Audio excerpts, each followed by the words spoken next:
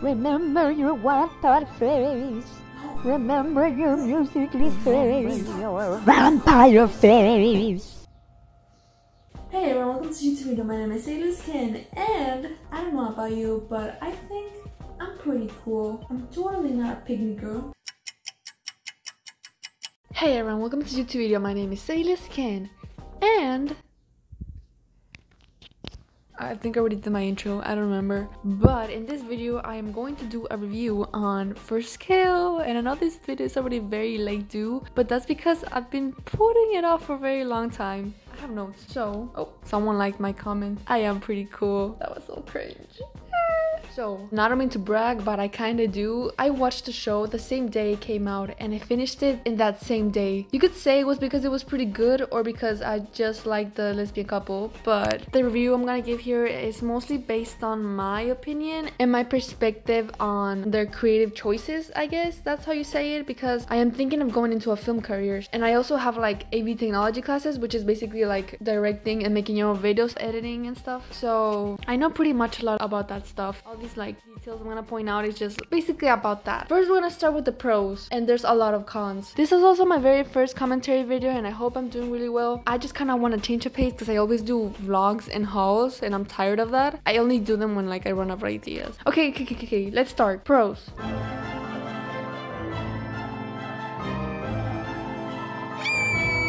I love the lesbian representation. The main characters were, I think they were a good cast. As far as I've seen, I've barely watched a show with like the main couple as lesbians, but I'm pretty sure there's other ones, but they're not as like common known. It's mostly just gay couples that appear into the mix. I love the Romeo and Juliet concept with the rivaling families. I think that was a very average choice, but it, it, makes sense because Penelope's family is like monster hunters. Juliette's family is like a vampire. So they're like, obviously they're gonna be rivaling. They're not gonna be on the same side. So I like that. It makes sense for the concept and the story. I also love the intro song. The Our Love Story could be kind of boring. Ah, I had a freaking Yandere love face. It was very hard to get out of. I have a bunch of freaking drawings where like you could just tell something Something wasn't right there. Yeah, it's also like a song I would listen to a lot because of my supernatural face with vampires. Okay, and that's it for the pros. Now on to cons.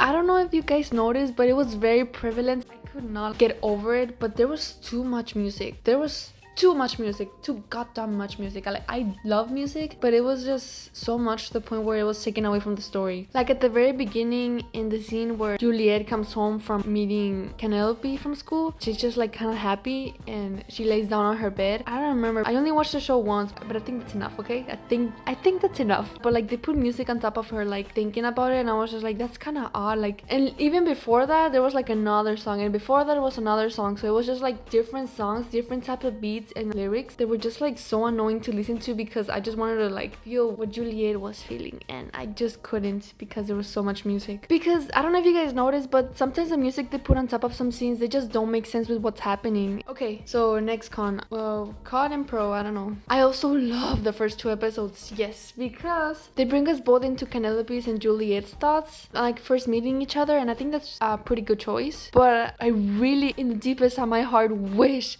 that they would have given us like like a introduction to both of their families first because I legit had no idea that Juliette's dad was the mayor of the town and that's like a really good detail we should have known about since the beginning. Juliette could have said, oh and my dad is a very important person in the family. Is rich, my family is this, my sister, my dad, my mom, my family that could have changed the whole story since the beginning. Oh, my dad is a mayor. Yeah, he has a lot of control over the town. And that's why people don't know that we're vampires. And also, that information literally adds way more stakes to Juliette's family and to the story. Just think about it. It, it really does. Okay, now to the third one. I know you guys might be mad at me for this one, but I wish the couple would have more chemistry.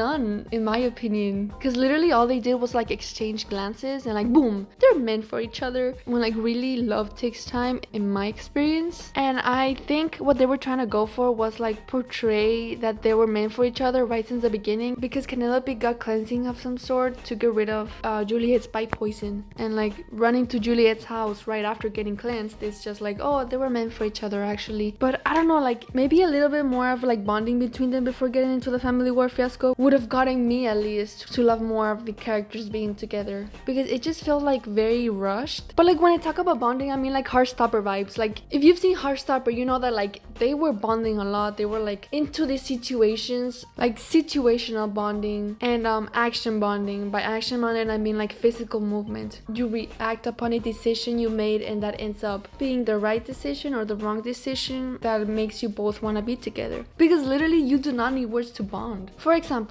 maybe they could have gone to the movies like as a date. They're having a romantic time and then something bad happens and they have to solve it together. Just an example, vampire related. Oh, uh, these people at the theater are talking about how they want to kill vampires and stuff. And then Juliette being right next to those people saying all that stuff makes her uncomfortable. So what does Penelope do next? She tries to solve it. She tries to calm down Juliette and maybe Penelope even shuts these people off and scares them off or something. Which in turn makes Juliette more comfortable and that's what I mean by situational bonding. It could be anything else. There's like so many possibilities, but that's just one and something that kind of threw me off that they didn't do.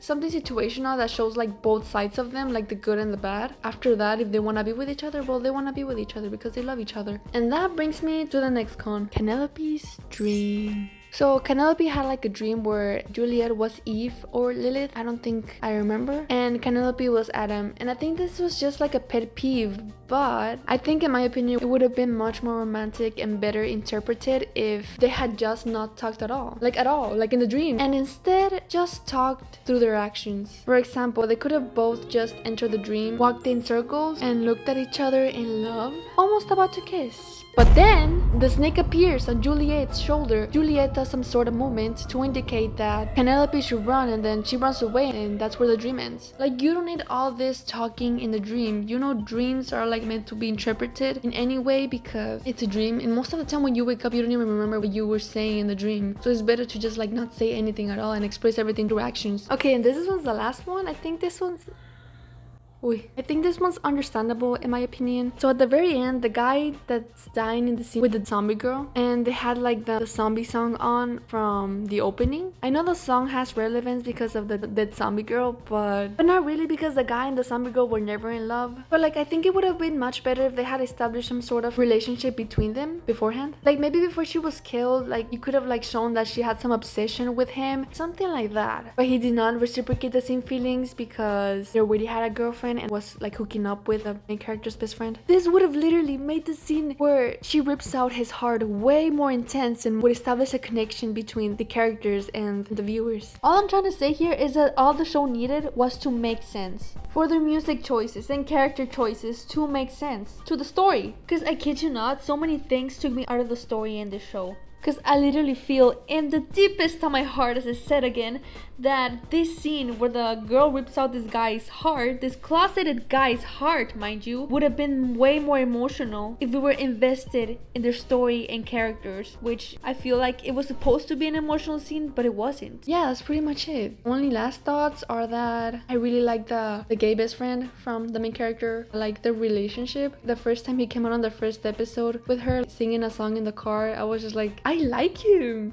likable character and I wish it came out more. Um, and other last thoughts was that I think the show has a lot of potential. It's just that it was very rushed at the very end. I did not understand who was fighting against who because Juliette's brother came out of nowhere. They kind of tried to like connect the points at the very end, but it was too late to understand in my opinion. But it was an enjoyable show. Those are like my personal pet peeves that I did not like in there and that I hope they fix in the second season if there is one. That's gonna be all for this video. Thank you for watching. Don't forget to like and subscribe and comment comment if you want me to make more of these type of videos. And if you agree or disagree with anything that I've said in this video, I'm open to opinions. You'll see me in the next video. Bye guys. Also look at this watch I got. I got a watch. I feel so rich. It doesn't do anything. I don't know what to do with this. I just like have it on. Bye.